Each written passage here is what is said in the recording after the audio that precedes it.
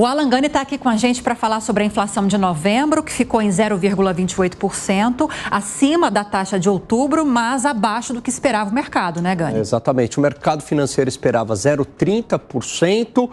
Em outubro, como você bem falou, foi 0,24%, então foi assim uma oscilação técnica, basicamente estabilidade da inflação agora neste mês de novembro. E foi uma boa notícia porque quando a gente faz outros cálculos, né, tirando alguns itens ali da inflação, que a gente chama de núcleos da inflação. Então, por exemplo, quando a gente tira uh, a inflação, mede só a inflação de serviços, tirando passagens aéreas, a inflação veio bem comportada, em 0,27%. E essa inflação de serviços preocupava bastante o Banco Central. Então, mostra que o Banco Central está sendo bem sucedido na sua missão de controlar a inflação. A inflação desse mês ela foi muito concentrada no preço aí dos alimentos, na alta de preços uh, de batata, de arroz e também do reajuste de energia elétrica em algumas capitais, como São Paulo, Goiânia, enfim.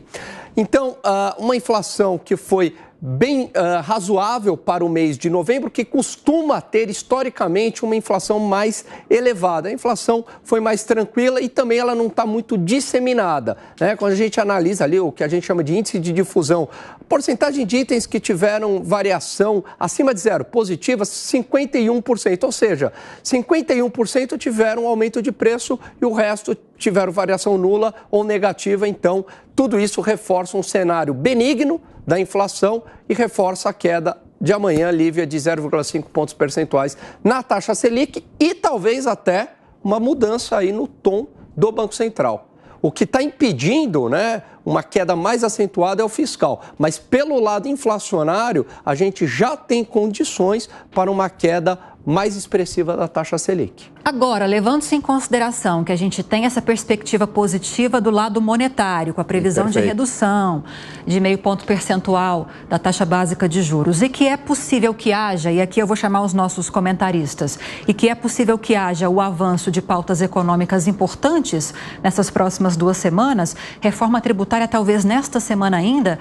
Será que estamos indo bem economicamente falando? Pergunto para os dois, mas começo com o Mota.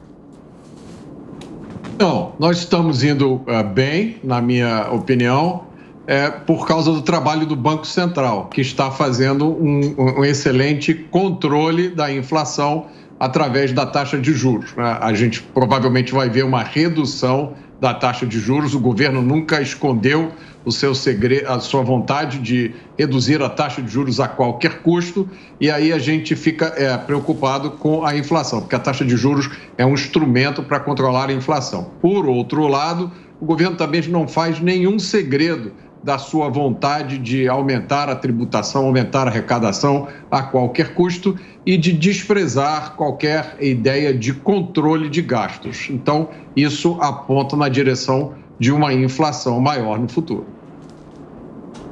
Zé Maria? Olha, todos os países, Lívia, convivem com inflação.